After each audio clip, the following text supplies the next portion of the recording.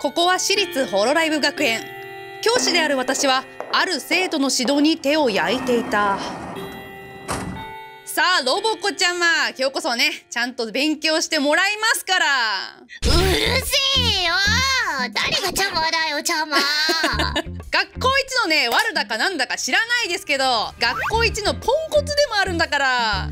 ポンコツなわけないだろもう目指せ脱ポンコツということでもうロボコさんを指導するためにね生徒会の子たちともう一人先生呼んでるからちょっと。え誰？誰？生徒会と先生？はい入ってきてください。ちゃんと勉強しなきゃダメじゃないロボコさん。そうそう。え生徒会長の秋ローゼンスタールです。よろしくお願いします。色気あるじゃん。あらあらコンコヨですわ。お。生徒会副会長の白衣小よりですわ。ちょっとこいつら殴っていい？チョコに手当てして。もらいたいのかしら？どうも。ホロライブ学園保健ゆずちチョコです。なんで保健まで聞いてんだよ。おかしいだろ。これからロボコさんにはまず学びの楽しさを知ってもらうためにこちらの生徒会チームとクイズ対決をしてもらいますククイズ対決？3対1ですね。おいふざけんじゃないかハリよ。まともにやったらさすがにね3対1だと叶うはずがないのでロボコちゃまにはねスマホでカンニング OK とします。あーもう任してもろて。それでは対決のルールを説明します。生徒会チームは協力しながら何度回答しても構いません。しかしスマホを使っているロボコさんの回答権は一度だけもし間違えた場合その問題は生徒会チームのポイントとなるので注意してください。スマホあっても勝てますよね皆さん。猫に真珠間違えましたわ。猫にカバン豚に真珠ロボコさんにスマホ。容赦なくボコボコにしてあげますわ。いいですね。本物の高性能というものを見せてあげますわ。おまあまあ前の学力テストの結果より高性能を見せててくださいねラボコ先輩。いや任せな。僕高性能で売ってるからね。ポンコツ4匹 VS あ。生徒会チームのクイズ対決始めていきましょ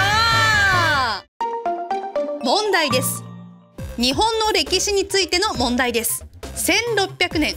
関ヶ原の戦いで天下人となり1603年に江戸幕府を開いた初代将軍は誰？はい。え徳川家康将軍じゃないでしょうか。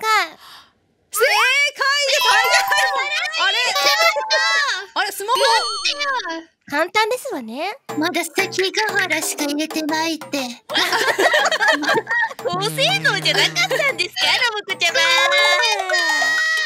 次来い次来い問題です。文学に関する問題です。ミステリー。推理小説に多大な影響を与えたアメリカの作家エドガー・アラン・ポー。彼の名前をもじったペンネームの日本の作家は誰？はいおっと、生徒会チーム早い。それではじゃあ小よりさんいきますか。江戸川乱歩正解おっと。な、な、さすがですね。こんなの学校で習ってないって。2問連続でね生徒会チームポイントゲットでございますがロボコさんいけそうですか？いやまあハンデかなやっぱり。なるほど。ちょっといつから泣きついてくるかっていうのも楽しみに待ちましょう。問題です携帯電話や SNS などで使用する絵文字。もちろん海外でも使われているのですが絵文字は英語で何というかお答えください、エモートかな。はい検索するわ。ちょっと待って。お自動的にあの今生徒会チームにポイントゲットなんですが今手を挙げてくださっている。チョコ先生お願いします。ピクトグラフ What's happened? めちゃくちゃかっこよく決めたのに？正解は絵文字です。え？What's happened? What's happened? 実はねあの絵文字は日本生まれだからそのままあの絵文字って使われてるんですよ。ね問題です。ここはどこ？わかる方いらっしゃいますか？はい。お生徒会チーム。ここは奈良ですわね。あー惜しいおしい。えー、奈良。奈良で奈良鹿がいて桜も咲いていて。はい。どうぞそれでは生徒会チーム。はい奈良公園正解です。奈良公園でした。ロボコさん何でちなみに今調べてたんですか？奈良赤い神社鹿がいて桜が咲いてる。それはちょっと無理かな。くそ鹿同じ顔しかしねえこいつら。問題です。一部の果物は家庭でもできるあることをするとより甘くなります。何をすると甘くなるでしょうか？はい。お、早い。早いわ。生徒会チーム。失敗しろ失敗しろ失敗しろ。光合成？ます。違いました。あどんどん出てきた。どうぞどうぞ。誘惑して愛を注ぐ。あーちょっといい嬉しいけどね果物的にはね。はい。はいどうぞ。塩水につける。おーもうちょっと簡単かもしれないです。もうちょっと簡単あロボコさんひらめいたか。いっちゃおうかな。お。果物は。お。読んでる読んでる。冷やすとより甘くなる正そうなんださすがなんだ。よ解さすがって言っていいのかなでもこれ。まあちゃんとねあの調べられて偉かったわね。読めて偉かった確かに。うんそれではロボコさん初の1ポイント獲得おめでとうございます。はい3ポイント差になりました。素晴らしいですわ問題です。いつの時代も女性は美しさを求めるもの江戸時代の女性はある生き物から取れる意外なものでスキンケアを行っていました。その意外なものとは何でしょう？はいはいどうぞ。ガマガ違います。あ動物から取れる意外なものですからね。おどうぞ。あら可愛いはい。何を あの踏んでよかったですよね踏んで ウグイスの糞らしいですよ。は言わせウグイスなんだ。いそうなんですよ。小よりさんにはそのままウグイスの糞を取り立てをちょっと試してみてほしいわ。こよりこれグレた方がいいやつ。こよりいつでも俺の隣は空いてるぜ。問題です。ギアナ高地にある世界最大の落差を誇る滝。この滝ならではの珍しい特徴とは？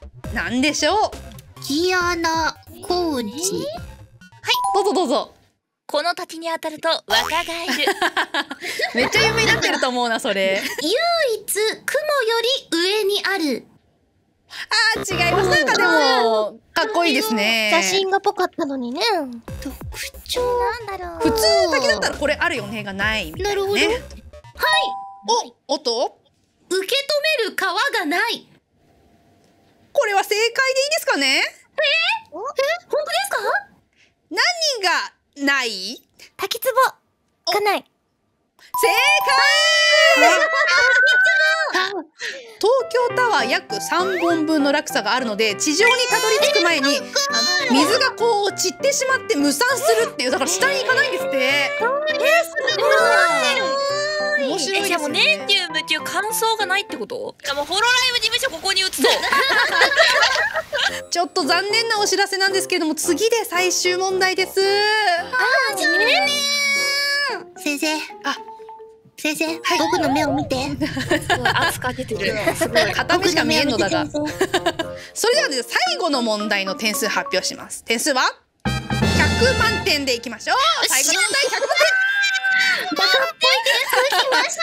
急に頭悪い番組になっちゃったな。問題です。音楽に関する問題です。シューベルトが作曲したさすらい人幻想曲。高度な演奏技術が求められるがゆえに生まれた逸話は何でしょう？逸話？逸話？逸話？うんうん。はい。おどうぞ行ってみましょう。誰も演奏をしたことがないあー違います。でもなんか難しいからみたいなのはね。はい。おどうぞ。悪魔に魂を売った。すごいファンタジーになっちゃった急にね。急にね。はい。